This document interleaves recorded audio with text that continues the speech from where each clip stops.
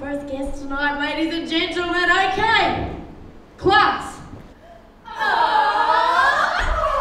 I got the S. You got me good, you little bitch. Oh, thanks for that S. All right, time for another guess. Wait, wait, wait, I know what it is.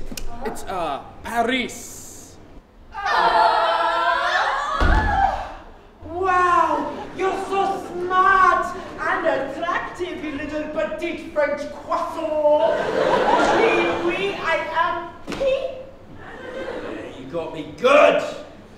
As long as hard as stale baguette. All right, ladies and gentlemen, we have three down, two to go. Anyone else in the audience? Uh, Me. know what it is? Me.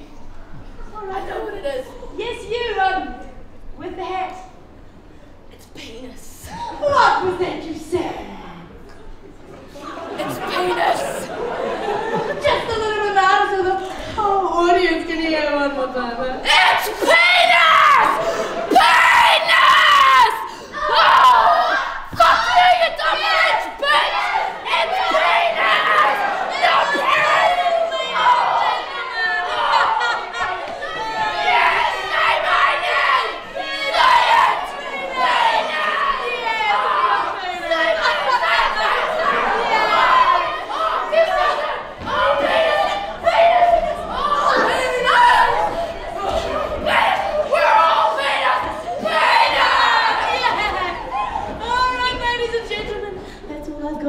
today, but you will most definitely see me tomorrow for your daily word.